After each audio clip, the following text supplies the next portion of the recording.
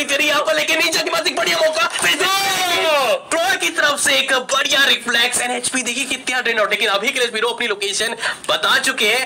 One P one P one situation बहुत ही ऐसे रेयर मोमेंट्स हमें देखने को मिल पाती है और ये जी हाँ उन्नीस उन्नीस finishes entity absolutely going massive today meanwhile Celsius भी somehow, somewhere पहुँच चुका है, और ये भी कंटेंडर है गेम जो पहले रैंगल के मैच में टॉप थ्री में सेल्सियस आता हुआ, क्या वो यहाँ पे और ज़्यादा वैल्यू निकाल सकते हैं? बड़ा सवाल बन जाता है क्योंकि अभी जोन के बाहर है? जोन के अंदर आने इतना आसान उनके लिए होगा नहीं। क्या स्पॉट कर पाएँगे? खड़े होकर सीधा जोन के अंदर आने की कोशिश। कोई स्पॉट उनको नहीं करा। कोई स्पॉट उनको नहीं करा। पहुँच गए। पहुँच गए जोन के अंदर।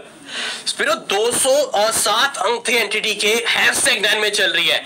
अगर जीत दर्ज करेगी क्योंकि टॉप थ्री अंत था वो टॉप थ्री आ चुके हैं यहाँ पर तो चलिए निकाल चुके हैं। लेकिन अगर मान लीजिए अगर हैशटैग वन आ गए तो वो कितने अंक यहाँ से लेके जाएँगे वो एक बड़ा सवाल रहेगा। मेरे ख्याल से सैंतीस अंक लेके लेके जा सकते हैं लेकिन ट्रॉय अभी भी अपनी लोकेशन बिल्कुल भी यहाँ पर फॉरवर्ड नहीं लेकिन फ़ोटो ने कर लिया डेल्टा पीछे को।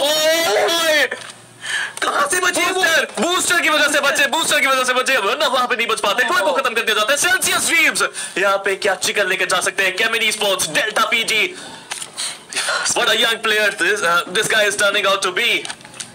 और क्या जाता है लीड आएगा फाइनल लीड इसी के साथ खत्म करा जाता है एक शानदार winner winner chicken dinner and it is Celsius sports जो आज वापसी की राह रचते हुए अपनी